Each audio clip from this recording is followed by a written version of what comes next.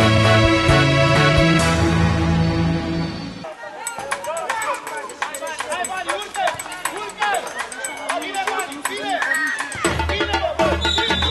250 de copii fotbaliști din Giurgiu, București, Zilnicea sau Cernica au mizat timp de două zile pe sport la sfârșitul săptămânii trecute în cadrul competiției Mizăm pe sport organizată de Asociația Sportivă Viitorul Giurgiu în parteneriat cu PES Activist Giurgiu și TSD Giurgiu. Cătălin Nedea, președintele Asociației Viitorul Giurgiu, s-a arătat încântat de numărul participanților la competiție, dar și de modul în care aceasta s-a desfășurat. Câte echipe s-au uh, înscris de data asta? 16 echipe, 8 echipe la categoria 2007 și 8 echipe la categoria 2005.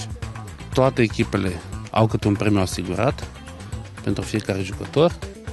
Uh, la ora 16.45 încep semifinalele, după care urmează finala mică și finala mare. Uh, premiile constau în, pentru locul întâi în, într-un echipament sportiv pentru că fiecare jucător, o diplomă, o medalie și cupa, bineînțeles, pentru campioni. Locul 2, la fel medalii, cupă, diplome și 5 mingi și locul 3, cupă, medalii min, uh, și 3 mingi.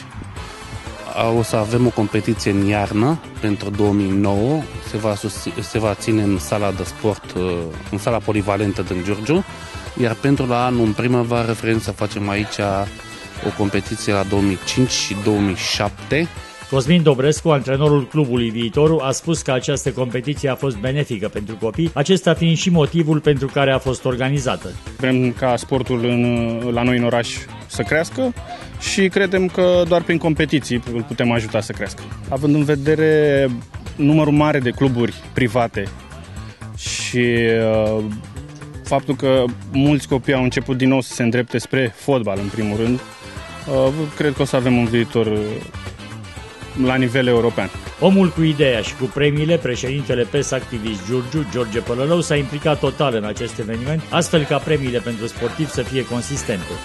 Ca de fiecare dată când sunt astfel de evenimente, noi am răspuns uh, afirmativ și alături de colegii mei am uh, decis să ne implicăm în această acțiune, nefiind prima de acest gen. Trebuie să mai precizăm că la festivitatea de decernare a premiilor a participat și secretarul PES Activist România, Janina Sitaru, dar și președintele interimar al PSD Giurgiu, Marian Mina. Iată care este clasamentul final al competiției la cele două categorii de vârstă.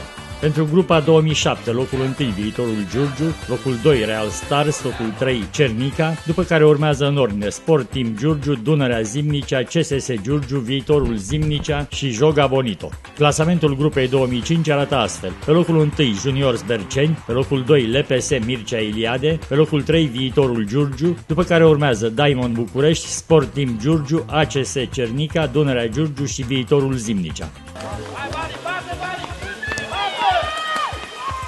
Go!